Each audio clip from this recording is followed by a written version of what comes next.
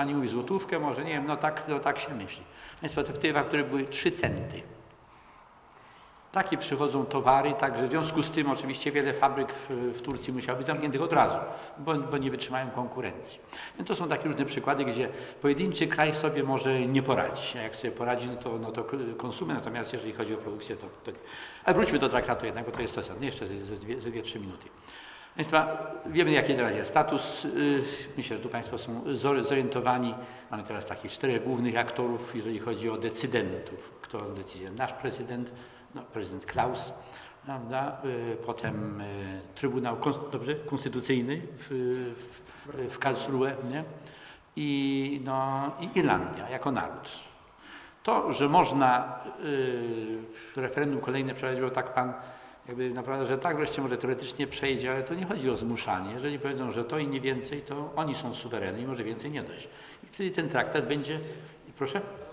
Nie, ja wiem, no, nie, no, no, różne rzeczy były mówione. No, dobrze, no raz powiedział, ale jeżeli zechcą jeszcze raz powiedzieć, to mają też takie prawo.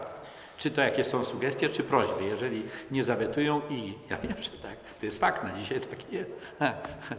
Ale jeżeli podejmą jeszcze taką próbę i przejdzie, dobrze, jeżeli nie przejdzie, to nie przejdzie.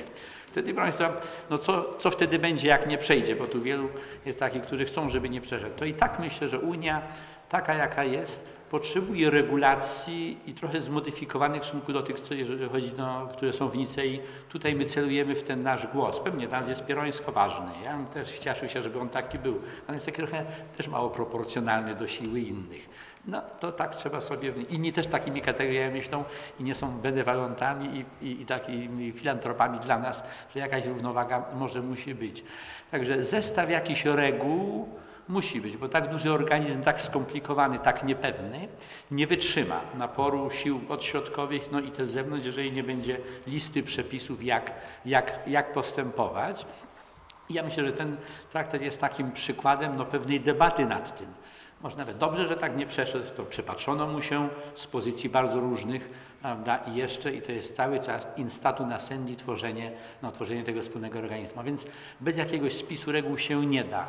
A czy one doskonałe, to proszę mi, niech Państwo czytają jakikolwiek regulamin naszego uniwersytetu, nasz wiele praw, czy one są doskonałe. Także to jest to, to jest doskonały. nie, no dobry jest, ale oczywiście jako, jako taki, że jeżeli Państwo znają może, ale ja, no nie, może nie muszą dać, inny, inny zestaw reguł mogłyby, może życie czasem wymaga pewnych modyfikacji, no i szczególnie w Unii to zaczęło się jednak niedawno, to jest zbyt świeży twór, to jest zbyt świeży twór, żeby ludzie zrobili to naprawdę dobrze, ja uważam. To naprawdę wyzwanie jest ogromnego kalibra, jak mówię, w tym eksperymencie społeczno-politycznym i to trochę, trochę trzeba pod, no, trochę czasu, żeby to dojrzewało, żeby mi się nawzajem, żeby były głosy różnych aktorów. Do tej pory 15 się żyło bardzo dobrze tam, z żelazną kurtyną i nam tutaj. Nam było niedobrze, ale im było dobrze i tak mogło jeszcze trwać i trwać. No, jeżeli przystąpiliśmy, to uważam, że jest dobrze. Nasze głosy tam zmieniają charakter, nawet w życiu samego parlamentu, bo innych instytucji nie znam, że nasz wkład wnosi coś nowego, inną jakość. Czy ona się od razu jakoś przybija, może jeszcze nie, ale fakt, że jesteśmy, że potrafimy mówić inaczej, na jakieś aspekty zwracam uwagę, na które może nie zwracano, to zmienia myślenie. Mogą być niezadowoleni, niech będą jaki, no, jacy chcą tam, ale to wywołuje y, taką nową platformę debaty. Ja myślę, że to jest dobry stan na dzisiaj, jeżeli chcemy jakoś razem być, niekoniecznie tak zjednoczeni jak ta teściowa scenową, chcący, niechcący, ale jednak widzę bardziej razem aniżeli osobno, to do tego jestem przekonany, prawda? to jakiś, jakiś traktat być powinien. Dziękuję bardzo. Chciałem serdecznie podziękować za zaproszenie na tak interesujące zebranie. Nie przypominam sobie, Polsce toczyła się gdziekolwiek debata na temat y, wartości y, traktatu lizbońskiego.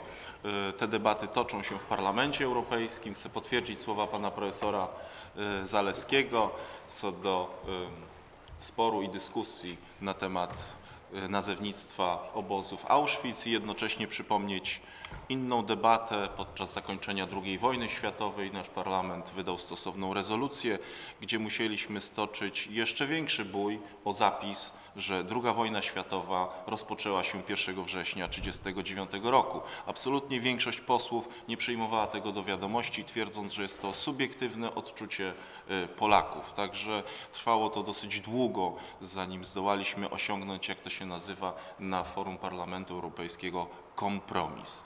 A teraz co do traktatu lizbońskiego, swoją wypowiedź chcę podzielić na takie trzy segmenty. Pierwszy, jak doszło w ogóle do powstania dokumentu pod nazwą Traktat Reformujący czy Traktat Lizboński. Druga kwestia, co on zawiera, choć zostało to już tu przed chwilą powiedziane i mój stosunek y, do niego. Y, Czym jest właściwie traktat lizboński? Mówiąc językiem studenckim, jest to lajtowa wersja Eurokonstytucji, dokumentu, który nazywał się Traktat ustanawiający konstytucję dla Europy, przygotowany w 2004 roku, miał wejść rok później i po referendum we Francji i w Holandii y, właściwie y, stracił swoją ważność. My od początku, kiedy znaleźliśmy się w Parlamencie Europejskim w 2004 roku, odnosiliśmy się do tego dokumentu, czyli traktatu ustanawiającego Konstytucję dla Europy, co do którego było powszechne przekonanie, że ten traktat na pewno wejdzie w życie. Tak jak dzisiaj głosił to pan doktor, że traktat lizboński na pewno wejdzie w życie. Stąd też wszystkie rezolucje, dokumenty, które uchwalał nasz parlament w Brukseli i w Strasburgu, mają stosowne odniesienia do poszczególnych artykułów y, Eurokonstytucji, czyli traktatu ustanawiającego konstytucję dla Europy.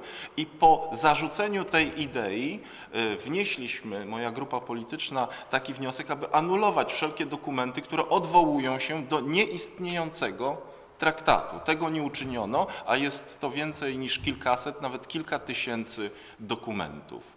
E, Było powszechne przekonanie, jak mówię, że ten dokument wejdzie w życie.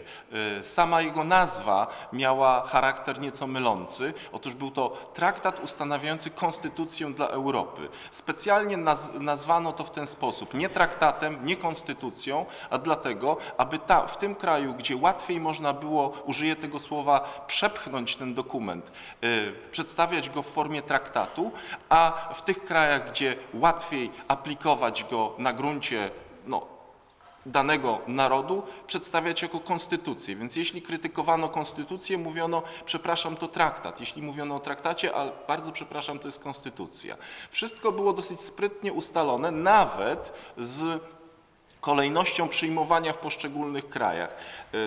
Stwierdzono, że lepiej będzie, jak przyjmą to kraje tak zwane pewne, gdzie sondaże wskazują, y, iż ten traktat na pewno przejdzie, przede wszystkim kraje starej Unii, a na koniec zostawiono Wielką Brytanię, gdzie nie jest tajemnicą, że ponad 70% społeczeństwa było przeciwko eurokonstytucji i przeciwko obecnemu traktatowi lizbońskiemu. Polska również znalazła się w tej grupie ostatnich państw. I tak rozpoczęto procedować we Francji i w Holandii, które to kraje były założycielami Unii Europejskiej i tutaj euroentuzjastów spotkał ogromny zawód. Y, Naprawdę chodzili niemalże w amoku. To był szok dla nich, że ten traktat nie przeszedł. Wobec tego nie znaleziono recepty natychmiast i w 2005 roku ogłoszono na szybko tak zwany okres refleksji. Okres refleksji, który miał trwać około roku. I w trakcie tego czasu dyskutowano, w jaki sposób można ten odrzucony traktat, ten odrzucony dokument przedstawić jako inny, ten sam dokument jako inny, tylko w odmiennym opakowaniu. Pierwszy wniosek, który się nasunął, był taki, że po pierwsze absolutnie nie można dopuścić do ponownego referendum, że społeczeństwa nie mogą wypowiadać się na ten temat, jest to dokument wewnętrzny, akt międzynarodowy, wobec tego nazwijmy to traktatem, a traktatów się nie poddaje pod referenda, za wyjątkiem Irlandii, gdzie jest konstytucyjny wymóg poddawania tego typu dokumentów pod, do konsultacji społecznej, no ale jeden kraj w perspektywie 27 nie przedstawiał tutaj e, zbytniego problemu. To był punkt pierwszy. Punkt drugi, zastanawiano się, jak przetransponować najważniejsze zapisy eurokonstytucji do traktatu reformującego, który nazywamy lizbońskim, nazwać to nieco inaczej i użyć y, nieprecyzyjnego języka. O tym języku nieprecyzyjnym mówiła i Angela Merkel, i pan Amato, i wielu innych polityków, tak aby nie trzeba było poddawać konsultacji społecznej.